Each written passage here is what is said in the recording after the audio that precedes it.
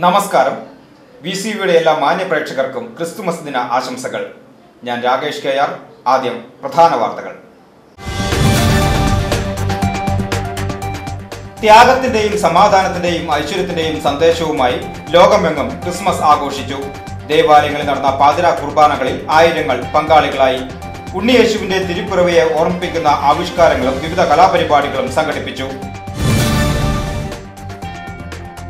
വടക്കാഞ്ചേരി നഗരവാസികളെ പകർച്ചവ്യാധിയിലേക്ക് തള്ളിവിട്ട് വടക്കാഞ്ചേരി പുഴ. തെളിനീരിന് പകരം ഒഴുകുന്നത് മലിനജലം. നഗരസഭയുടെ വലിച്ചെറിയൽ മുക്ത പ്രഖ്യാപനം കടലാസിലൊതുങ്ങി.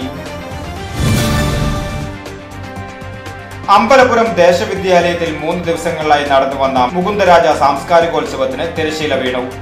സമാപന സമ്മേളനം Xavier Chittilappilly M L A ഉദ്ഘാടനം ചെയ്തു. മുകുന്ദരാജ സ്മൃതി പുരസ്കാരവും മുകുന്ദരാജ യുവ പുരസ്കാരവും കേരള സംഗീത നാടക അക്കാദമി ചെയർമാൻ മട്ടന്നൂർ ശങ്കരൻകുട്ടി വിതരണം ചെയ്തു. പാഞ്ഞാൾ പഞ്ചായത്തിലെ വല്ലങ്ങിപ്പാറ പാടശേഖരത്തിൽ മധ്യവയസ്കനെ മരിച്ച നിലയിൽ കണ്ടെത്തി.